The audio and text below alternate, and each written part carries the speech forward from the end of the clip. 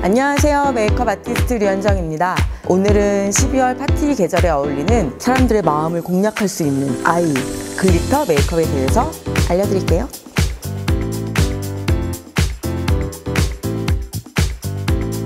glitter eye 메이크업을 할 건데요.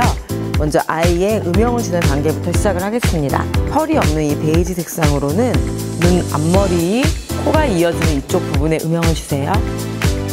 아주 연한 브라운 색깔 섀도우를 다시 한번 눈두덩이 한 2분의 1 정도 되는 지점에 발라주세요. 그 다음은 펄감이 있는 좀 진한 브라운 색깔 섀도우를 눈매를 또렷하면서도 좀 더 깊이감 있게 표현을 해주는 단계예요. 그리고 이제 마지막으로 아이 라인 쪽에 진한 이 회색빛의 섀도우를 발라줍니다. 그다음에 언더라인도 음영을 주세요. 이게 지금 liquid한 이런 glitter liner인데 이 눈동자 바로 위에 있는 부분 있죠. 가운데 거기에다가만 쓱쓱 발라주세요.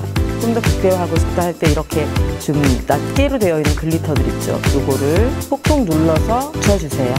아래쪽에도 glitter liner를 이렇게 살짝 발라서 눈 밑에가 좀 더 반짝반짝하게 살짝 표현을 해보겠습니다. 어, 뭔가 좀 더 화려함을 주고 싶다 할 때 그 liner 그림 위에다도 이렇게 glitter를 콩콩 박아주세요 이 테이프를 사용을 해서 이렇게 간편하게 이 얼굴에 묻어있는 glitter들을 제거해 주시면 됩니다.